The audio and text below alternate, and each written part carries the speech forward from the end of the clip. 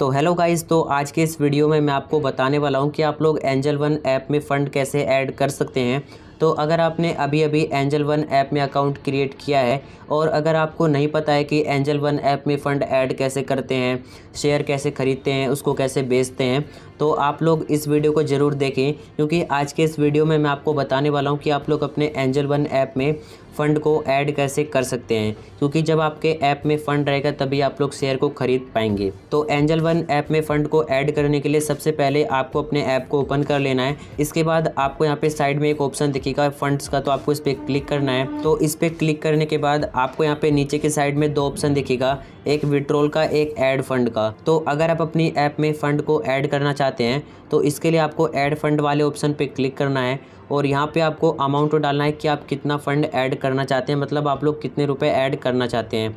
तो मान लीजिए मैं इसमें हंड्रेड रुपीज़ ऐड करना चाहता हूँ तो यहाँ पर मैं हंड्रेड रुपीज़ लिख देता हूँ।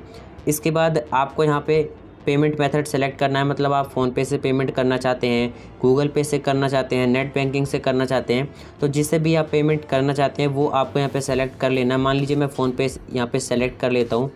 तो फ़ोनपे पे जैसे मैं क्लिक करता हूँ तो इसके बाद यहाँ पे जो मेरा फ़ोनपे ऐप है, वो ओपन हो जाएगा। तो इसके बाद यहाँ पे आपको अपना बैंक अकाउंट सेलेक्ट करना है और आपको यहाँ पे याद रखना है कि आपको यहाँ पे वही वाला बैंक अकाउंट सेलेक्ट करना है, जो आपने एंजल वन अकाउंट बनाते वक्त, जो उसमें आपने अकाउंट ऐड किया था, उसी अकाउंट से आपको यहाँ पे पेमेंट करना है। अगर आप किसी अदर बैंक से पेमेंट करेंगे तो आपका जो पेमेंट है वो कैंसिल हो जाएगा।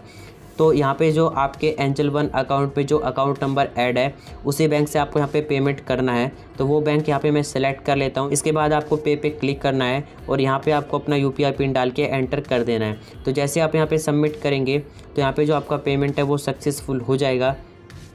और इसके बाद ये जो हंड्रेड रुपीज़ है, वो हमारे यहाँ पे एंजल वन ऐप में ऐड हो जाएगा।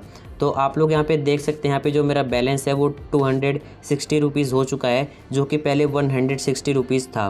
तो इस तरीके से आप लोग अपने एंजल वन ऐप में फ़ंड को ऐड कर सकते हैं और यहाँ पे फ़ंड ऐड करने के बाद अब आप लोग यहाँ से शेयर्स को बाइक और सेल कर सकते हैं। तो आई होप आपको ये वीडियो पसंद आई होगी तो अगर आपको ये वीडियो पसंद आई हो तो प्लीज़ इस वीडियो को लाइक करके हमारे चैनल को सब्सक्राइब कर लीजिए।